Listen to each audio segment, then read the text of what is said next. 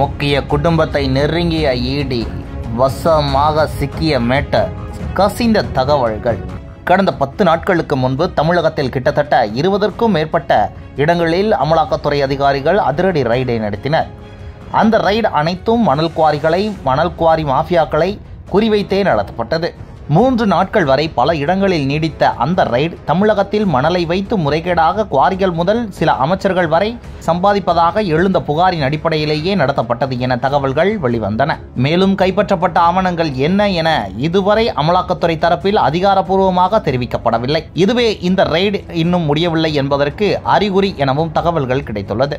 ஆனால் இந்த மணல் குவாரிகளில் மணல் கடத்த பயன்படுத்தப்பட்ட முறையற்ற ஆவணங்கள் குறிப்பிட்ட அளவையும் தாண்டி எவ்வளவு மண் எடுக்கப்பட்டு இருக்கின்றன என்பது போன்ற தகவல்கள் எடுக்கப்பட்ட மண் எவ்வளவு ரூபாய்க்கு விற்கப்பட்டிருக்கிறது அதனால் அரசுக்கு எவ்வளவு கோடி ரூபாய் வருவாய் வர வேண்டும் மத்திய அரசுக்கு எவ்வளவு கோடி ரூபாய் ஜிஎஸ்டி வர வேண்டும் எவ்வளவு கோடி ரூபாய்க்கு கணக்கு ஏமாற்றப்பட்டு இருக்கிறது என மொத்தமாக அமலாக்கத்துறை சுற்றி வளைத்து பல ஆவணங்களை கைப்பற்றியது என வேறு தகவல்கள் கிடைத்துள்ளன. இது மட்டுமல்லாமல் பல்வேறு முக்கிய கோப்புகளையும் வேறு அமலாக்கத்துறை தான் வசப்படுத்தி உள்ளது இந்த சூழலில் இந்த மணல் விவகாரம் ரெய்டு குறித்து நீர்வளத்துறை அமைச்சர் துரைமுருகனிடம் கேட்கும் பொழுது அமலாக்கத்துறை ரெய்டு நடப்பது பற்றி எனக்கு எதுவுமே தெரியாது என கூறியதும் குறிப்பிடத்தக்கது.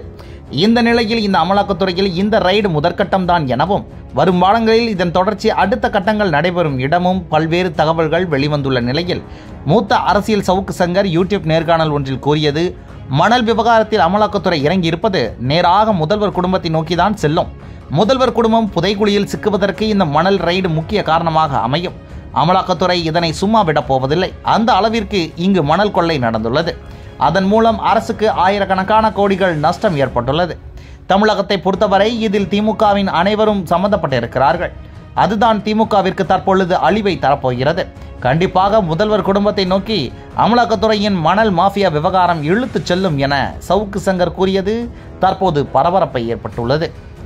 இது மட்டுமல்லாமல் ஏற்கனவே அமைச்சர் செந்தில் பாலாஜி விவகாரத்தில் கண்டிப்பாக அமைச்சர் செந்தில் பாலாஜியை அமலாக்கத்துறை நெருங்கும் எனவும் செந்தில் பாலாஜியை அமலாக்கத்துறை கைது செய்யும் எனவும் ஏற்கனவே கூறினார் சவுக்கு சங்கர். அவர் கூறியபடியே அடுத்த மூன்று மாதத்திற்குள்ளேயே அது நடந்தேறியது. தற்பொழுது மணல் மாற்றி விவகாரத்திலும் இதுபோல் முதல்வர் குடும்பத்தை அமலாக்கத்துறை நெருங்கிவிட்டது என சவுக்கு சங்கர் கூறியதால் என்ன நடக்குமோ என பல்வேறு சர்ச்சைகள் மற்றும் விமர்சனங்கள் வேறு எழுந்துள்ளன.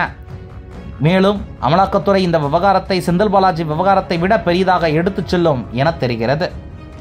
தர்மாவை சார்ந்து இல்லை அப்படின்னா அரசியலில் கடைசி காலத்தில் அழிவு என்பது எல்லோருக்கும் வந்து சேரும். அதனால் எப்படி லல்லு அவர்கள் ஆரம்ப காலத்தில் அந்த காலகட்டத்தில் குஜராத்தில் பீகாரில் ரொம்ப கஷ்டமான நேரத்தில் ஒரு மிகப்பெரிய தலைவராக உள்ள நுழைஞ்சு அற்புதமான விஷயங்களை செய்தவர் லல்லு பிரசாத் யாதவ். ஆனால் இன்னைக்கு நம்ம இளைஞர்கள்ட்ட போய் லல்லு பிரசாத் யாதவ் அப்படின்னு பேரை சொன்னாவே ஃபாடர் ஸ்கேமு குடும்ப ஆட்சி இவங்களை கொண்டு வந்தாங்க அவங்கள கொண்டு வந்தாங்கன்னு தான் சொல்லுவாங்க. அதனால தான் நான் அவங்க லல்லு பிரசாத் யாதவருடைய இரண்டு பரிமாணத்தை போட்டு காமிச்சேன். ஃபஸ்ட்டு இப்படி இருந்தாங்க அடுத்து இப்படி இருந்தாங்க. நீங்கள் முதல்ல இருந்த லல்லு அவர்களை போல் இருக்க வேண்டும் அப்படின்னு சொல்லி சொன்னாங்கன்னா இது எல்லோ அரசியலுக்கும் சாரும் எல்லா மண்ணுக்கும் சாரும்.